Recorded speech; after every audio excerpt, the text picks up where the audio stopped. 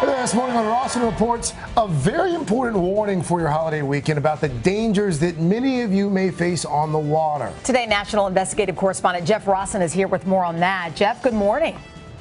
Hey guys, good morning to you and happy 4th of July to all of you at home. It's here, and I'm sure a lot of you are going out on the water today. Why wouldn't you? Wakeboarding, water skiing, and of course, tubing. You know, when you get pulled across the water by a boat, it's fun and more popular than ever, but accidents keep happening. Several new cases already this year, people getting hurt.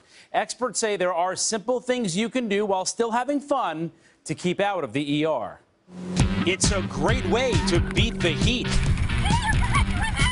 zipping behind a boat, sweeping across the sea.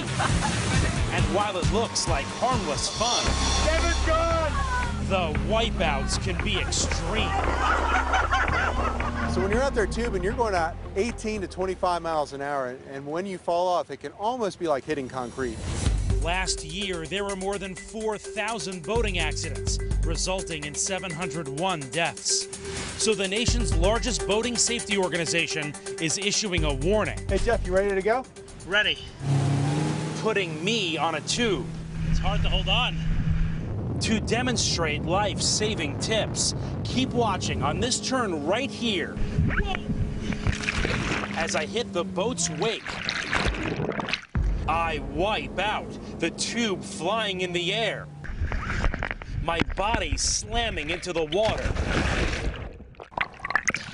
Okay, so when you fall off the tube, your immediate instinct is going to be to swim back to the boat.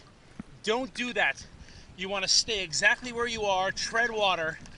Wearing a life vest while you're tubing is mandatory, so it'll be easy to tread water like I am right now. Look around for other boats.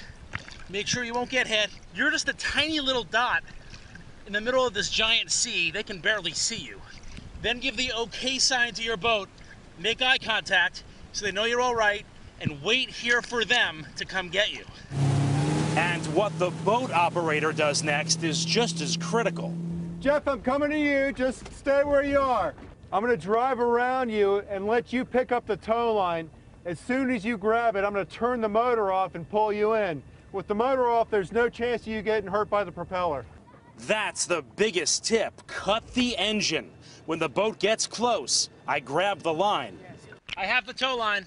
Okay, so the engine is off, so this is safe. It's off. Come on up. There you go. And now we're safe on the boat. No chance Yep. of a propeller collision. No chance of anything happening to you. You can have a great time on the water and still be safe. A couple of other important things to remember. Always make sure there are at least two people on the boat, someone to drive and then a spotter to watch the tuber or the water skier. And experts say everyone should be wearing a life jacket. I know it seems completely obvious, but experts say most of the people who die every year or get hurt just aren't wearing them. We hope these tips help. And happy 4th of July. Happy Thank you, Jeff. Something to keep in mind. Hello, Today fans. Thanks for checking out our YouTube channel. Subscribe by clicking that button down there and click on any of the videos over here to watch the latest interviews, show highlights, and digital exclusives.